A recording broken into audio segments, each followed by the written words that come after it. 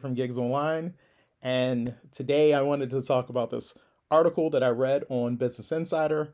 It's really about the tech giants and their layoffs and how they are setting up severance packages for their former employees.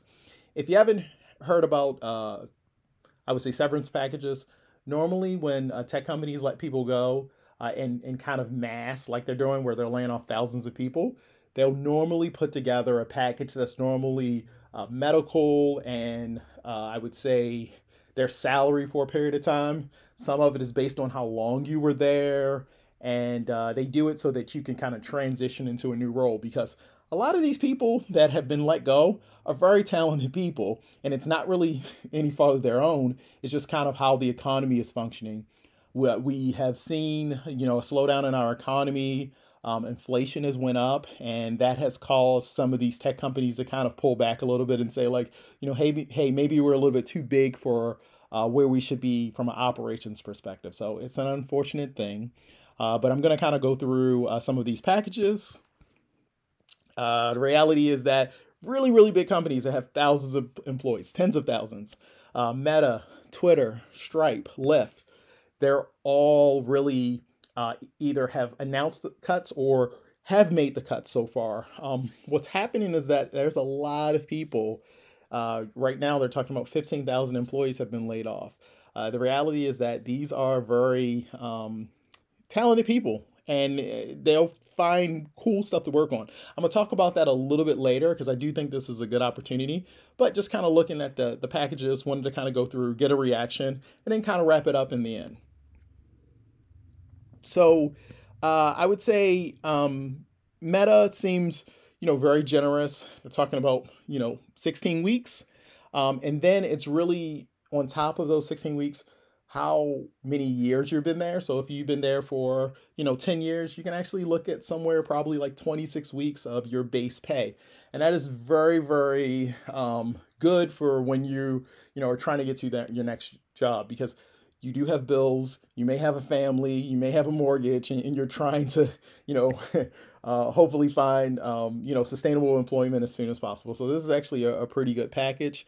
Uh, the other thing that um, has happened is that they're looking at uh, getting health insurance as well, um, and also immigration support because there are a lot of H-1B visas and other types of visas uh, recipients that actually work at these country companies that have been impacted.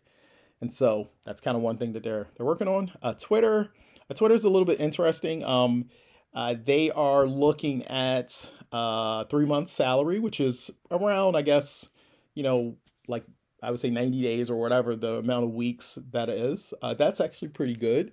Um, we haven't really heard anything about additional severance based on service. Um, we haven't heard about um, insurance rates, uh, insurance, uh, health insurance. Sorry. Uh, we also haven't heard about any type of immigration support. Twitter, I believe, also has a lot of uh, visas uh, as far as people that work there. Um, and then other be- benefits is nothing um, mentioned so far. The thing that is a little bit um, interesting with Twitter is the fact that 50% of their staff have been laid off. So that is a very, very huge cut. Um, it's one of those things where you know hopefully Twitter can come out on the on the uh, other side. I did see some articles where Twitter was actually was asking people to come back that they let go. So I think Twitter will be in a little bit of a flux right now as far as like you know their kind of head count. It may take them a couple months to kind of really get it to the number um, that they kind of are trying to target. So Lyft, Lyft is getting a 10 weeks pay. Again, veteran team members uh, receive more. So, you know, it's probably based on how many years you've been with Lyft. Uh, so this is actually uh, very much in line with what a lot of companies are doing. Uh, and then um, it's four weeks for uh, um, employees who have worked at least four years at Lyft. So it's one of these things where you, you're kind of, you got these kind of buckets of people, people four years are, are or under and then over. And that's kind of um, really kind of their buckets and interesting, but you know, they are looking at 10 weeks base a salary and about 13% of their their staff have been impacted by this change. Um, Stripe, 14 weeks. Um, I think the other thing is uh, they are they have some additional things that they're doing um, as far as you know, equivalents for healthcare. They're giving out some cash uh, so that people can kind of pay their own premiums.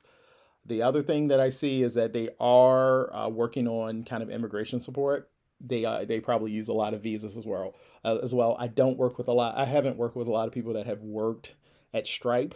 Twitter, yes. Uh, Facebook or Meta, sorry, Meta, yes. Uh, but haven't really worked with too many people from Stripe.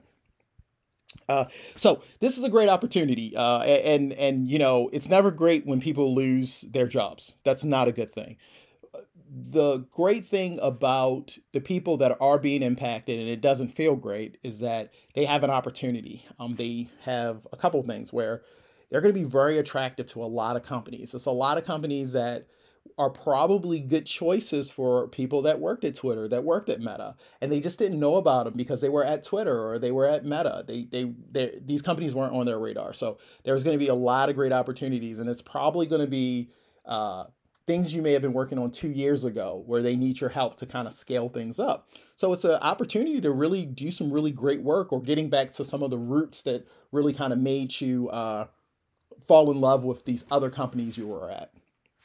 Um, I think the other thing is you're kind of giving people a runway to kind of experiment. When you talk about severance, I can see a lot of people kind of taking a shot. Um, if I was a, a co founder and I was looking for um, a technical co founder, I would look at a lot of these companies. I would ask my network and ask my friends and say, like, hey, do you know anybody that got impacted um, by, you know, the layoffs?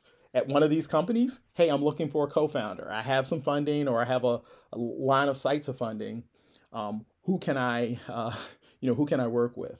Um, so that that can help. Uh, I think the other thing is that I think we may see a, kind of influx of of people kind of doing some side hustle activities or, or, or, side gig activities until they find their next job because they do have the security of, of kind of this this kind of you know transition money with the severance but it would be great for them to still bring in a little bit more monies. Uh, so I do see some activity there. So overall, I think this really has a, a very dramatic impact on our, you know, um, our economy because you know there are people that are not going to be working at these companies but they're still getting the same amount of money that they were getting before. So I think spending is going to change. I think some new solutions come to the market. And I think a lot of companies that didn't have a seat at the table with a lot of these very high profile tech uh, people, either from a product side or um, a development side, or even analysts or architects, they're actually in the market now. So I, I'm really, really bullish about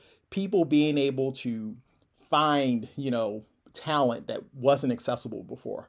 But I will warn companies, please do not get complacent. If you're looking for talent, you have to strike because people have a window and they want to land somewhere and they want some stability. So I would encourage you to look at your your hiring processes and see if you can expedite them so that you can actually take some swings at this talent to bring them in. So that's how I kind of look at it. Overall, it's a bad day when somebody loses their job, but I will say that the people that are impacted are very smart, they're talented, and they are going to do great uh, work wherever they go. So if you found any of this helpful, um, I would love a, a like of the video. Um, you don't have to subscribe to my channel.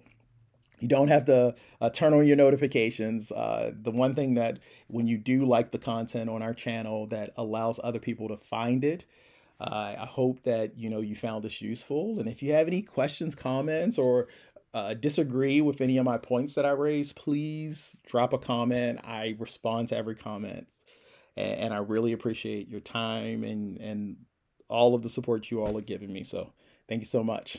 Talk to you soon.